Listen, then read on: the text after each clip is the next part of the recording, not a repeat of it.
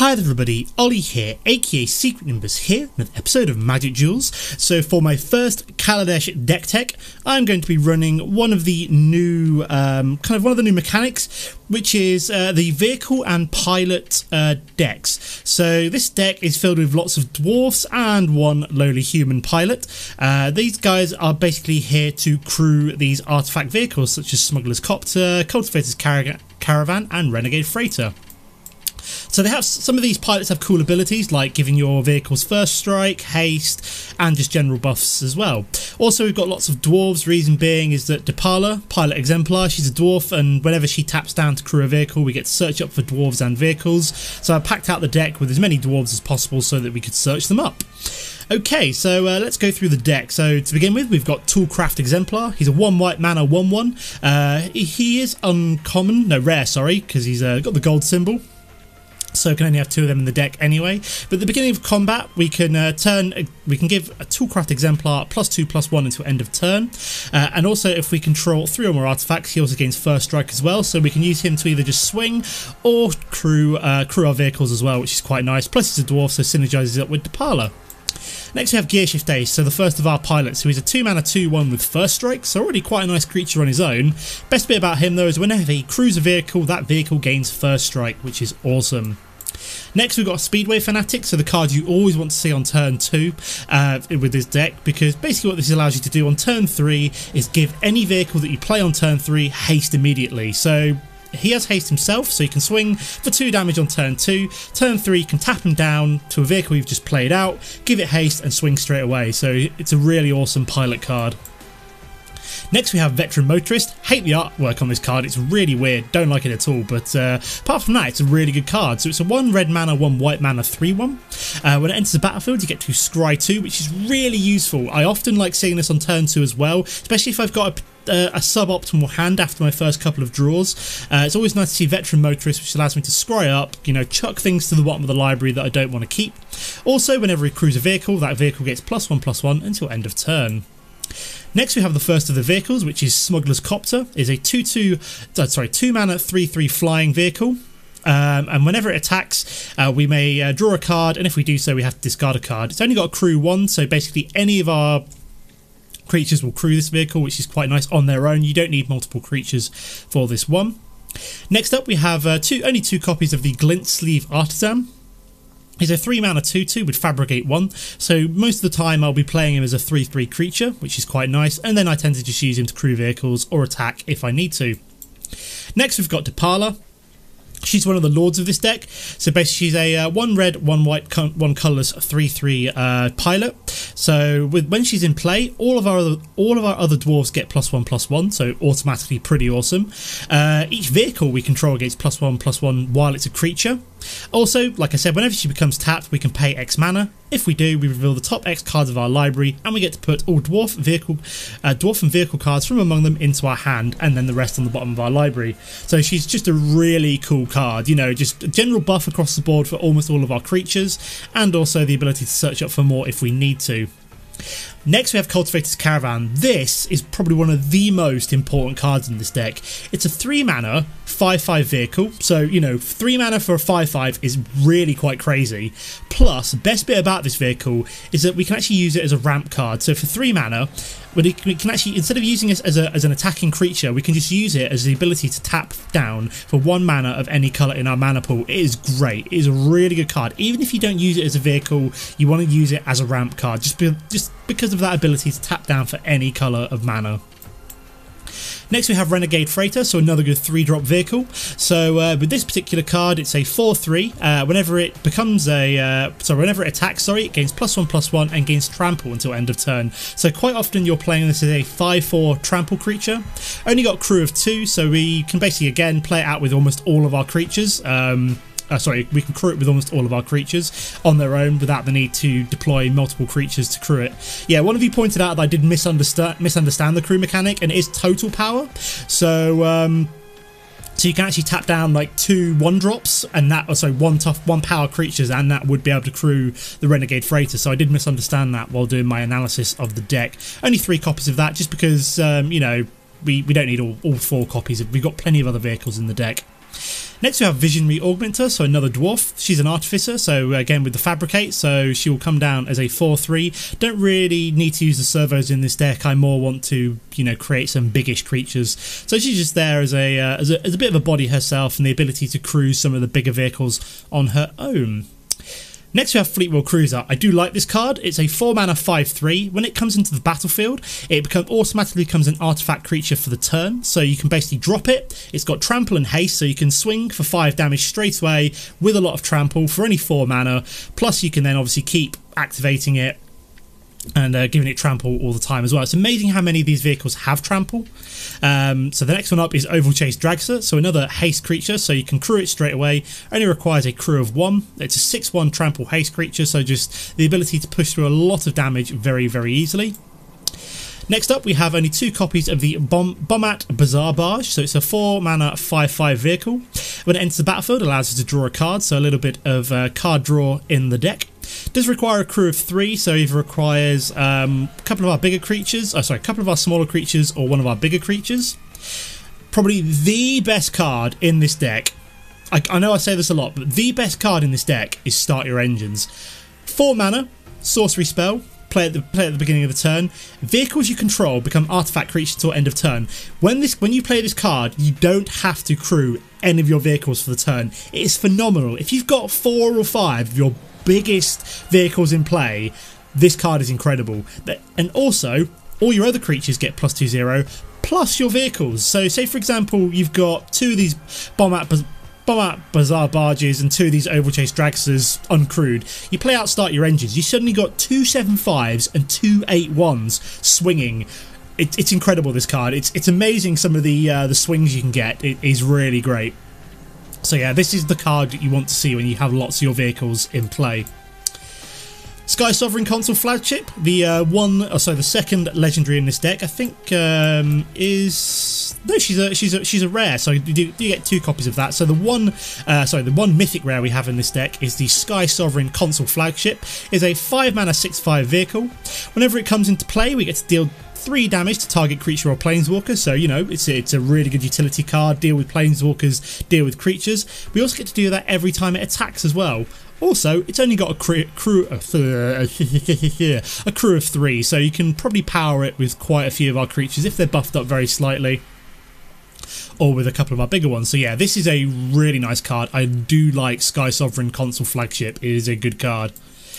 Next we have one copy of the Aradara Express, and you know, this is an uncommon, uh, sorry, this is a common rather, but it's quite, you know, it's quite more situational. It's a 5 mana 8 6, but it has a crew of 4, so it would require a couple of smaller creatures usually to play this. But if you can get this in play, it does have Menace. So it's just like these two are kind of some late game drops um, with a potential big payoff if you can uh, if you can swindle it.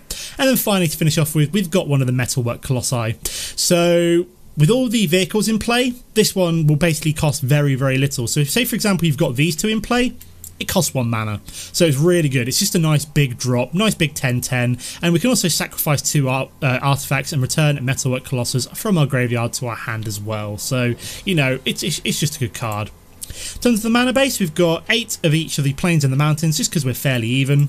Uh, we've got then got two of each of the uh, dual lands corresponding to the red and the white, and then finally we've got the Inventor's Fair. So uh, at the beginning of our upkeep, if we control three or more artifacts, we gain one life. So really good if we've got lots of vehicles that we can play out. We can also obviously use it to tap for mana.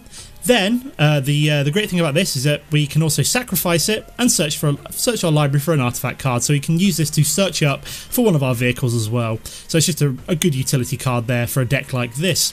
Okay, that is the deck, guys. Let's go play some games. Okay guys, here we are for game number one. I'm already rank 7 as I've been playtesting this deck and won quite a few games already. Uh, I will double check who we're playing in a second.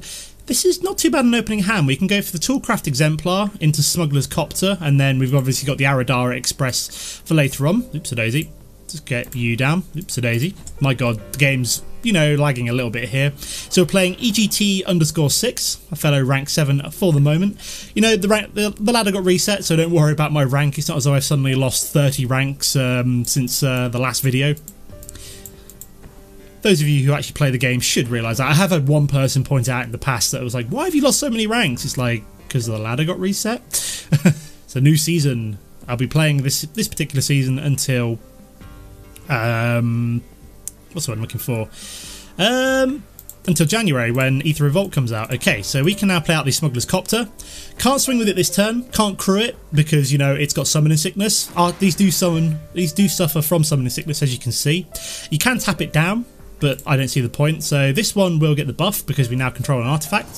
So it'll become a 3-2 creature instead. So that's a much better play there, which is why we wanted to play out the Smuggler's Copter pre-combat. I'm almost half tempted with the Smuggler's Copter ability to just toss away the Aradara Express as we're not really going to be able to use it anytime soon. And I would rather almost keep the mana for uh, playing out some of our other artifacts maybe, later on maybe. We'll see how it goes though. I may just toss away one of the mana, see what we draw on our next uh, draw step before deciding whether or not to uh, use Smuggler's Copter's ability. Okay, we've got white and black so far, but not really much else from our opponent. Ooh, we do have the Metalwork Colossus, which is quite nice. So let's play out the plains. I think we will crew this. Does exactly the same damage, so it's not as though we're losing out on anything by crewing this. Plus, we do get the ability to... Um, so can see, it becomes a 3-2.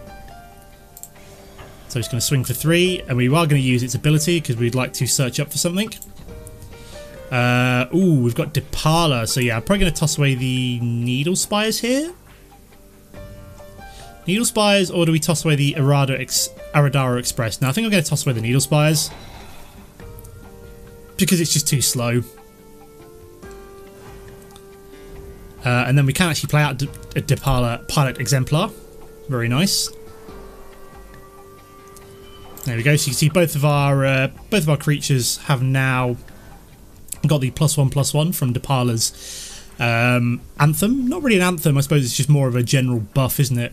Can't remember what, what's the way you describe that because an anthem's more of a, something that would get played that, that would trigger on something, whereas uh, it's more of just a general overall buff to all my creatures. So yeah, if we do find a fifth mana again, I will be able to get Aradara Express out, which will just make this a four drop. Okay, we have got Oath of Liliana, so he's going to be able to force, going to force me to sacrifice one of my creatures. I'm obviously going to sacrifice a Toolcraft Exemplar, as that is the uh, the worst the worst of our two creatures there.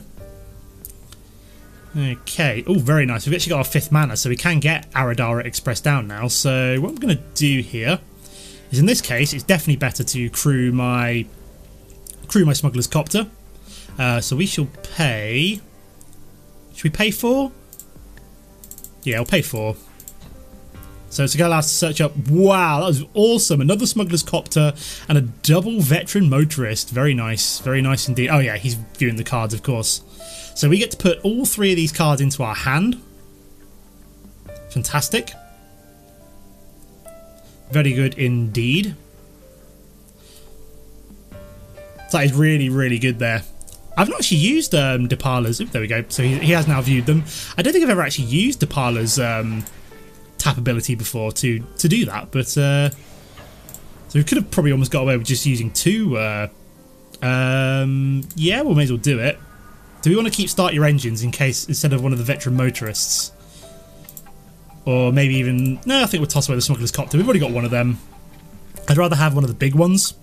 The Aradara, Aradara Express. There we go. Also, what I found out is what you can actually do to crew, say, for example, this Aradara Express. Right now, we don't have a, a, a four power creature. What we can do, however, is we can crew our Smuggler's Copter, becomes a 4 4, and actually use that to crew our Aradara Express, which is kind of crazy. Yes, you can crew vehicles with other vehicles. It's a little bit ridiculous. I'm not sure if that's a glitch. I'm not sure if that's a bug or not, but uh, is kind of funny. So we do have Gisela the Broken Blade.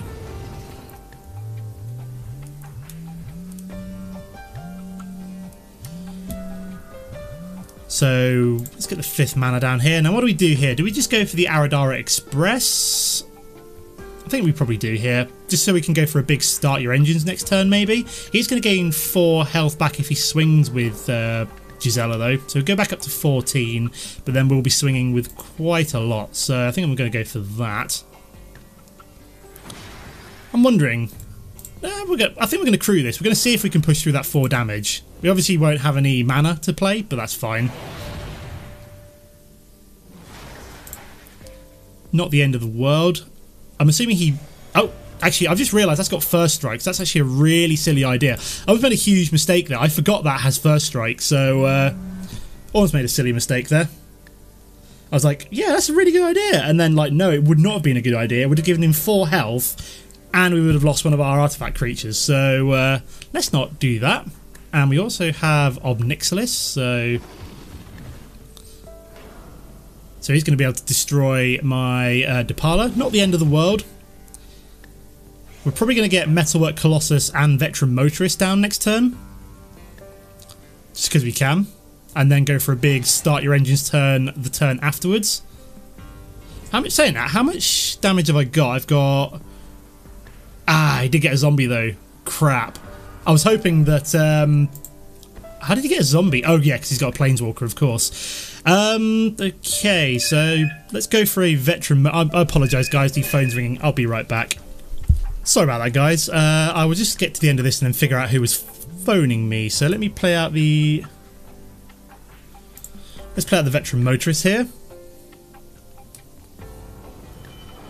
Okay.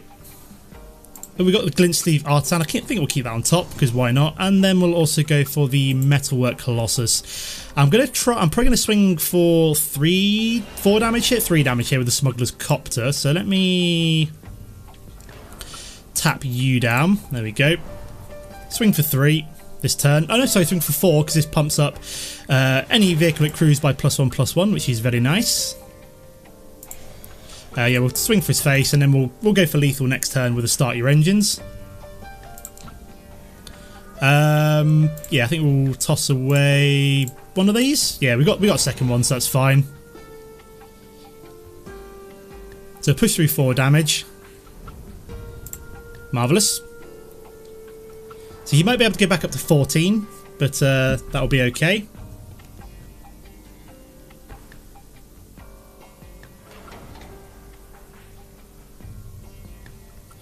Okay, so he's got an Evolving Wilds. Not really too fussed by that.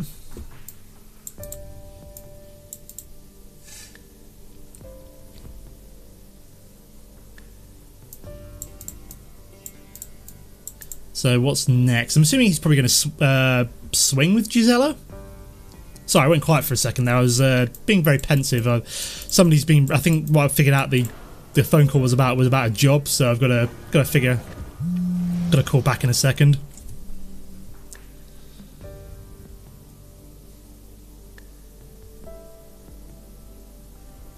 Okay.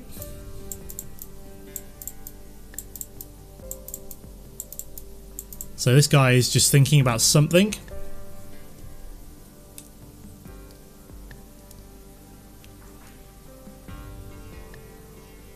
What is he thinking about? This is uh, quite a long. Gone, this match has gone quite a long while. Might just be a one game today, just because uh, I've got to go pick my wife up uh, in a little bit. So from work. So is he going to attack? He's going to double attack. Very brave. Very brave. Uh, yeah, we're going to block you, I think. So he's going to get the 4 damage. Uh, sorry, he's going to get the 4 life. We are going to kill that zombie though, so we should only get one zombie back from this.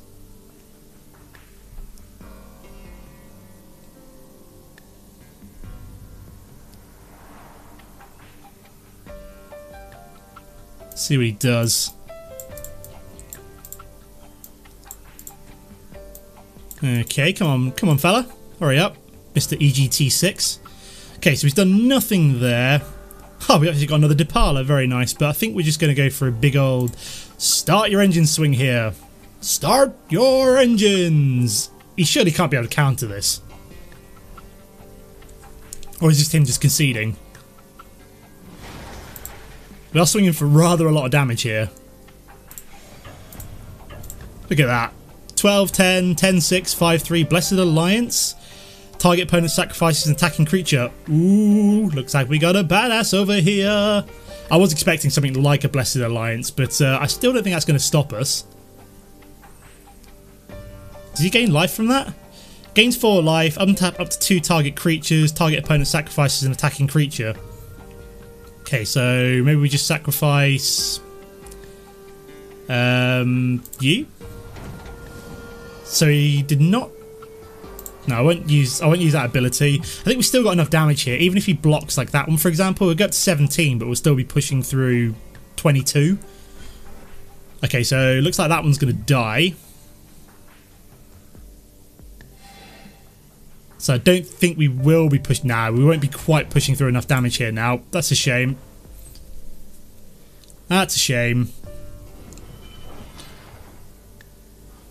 Uh, oh, yeah, we'll have the start your engines please next turn. That's kind of hilarious because he knows I've tossed one away, but he won't know that I've just put one on top of my library to swing with again.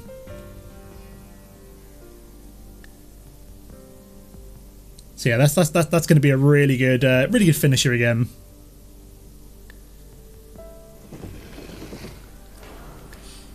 Okay, or he could just, you know, drop a uh, drop a Sorin. So he could just kill that one. No, we don't need we don't need to crew it. I'll be fine. This is this is him this is him basically losing here because he can yeah he can destroy our metalwork colossus, but we have a second start your engines about to make its way onto the battlefield. This won't matter because we've got uh, the menace on you. So start your engines. I, I might say that every time. Uh, I might say that every time this, this comes into play now. There we go. So we're just going to push through for lethal. But either of these would, would push through for lethal here. So uh, And there we go. So he's left the game. Okay guys, so unfortunately I would like to play one more game, but I don't actually have the time today, so I'm just going to round off the episode here really quick. Up to rank 8, very nice. So yeah, that is my Dwarf and Vehicle uh, it's pretty aggressive deck, as you can see. You know, we're, we're always going for the face more than anything. You know, not real much control there, so it's a lot of speed, a lot of aggression. So as always, guys, don't forget to comment and like if you enjoyed the episode, and I'll see you next time. Goodbye.